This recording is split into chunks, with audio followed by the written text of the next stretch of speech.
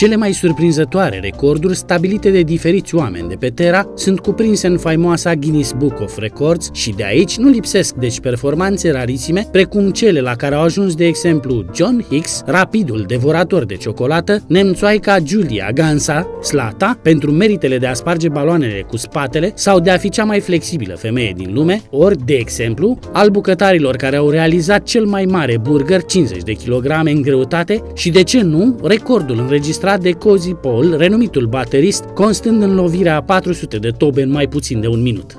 3, 2, 1, go!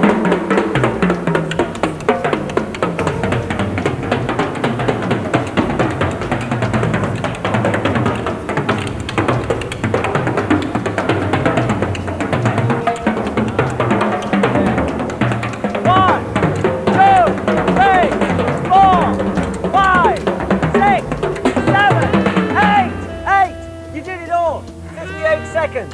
Oh, fantastic. That was brilliant.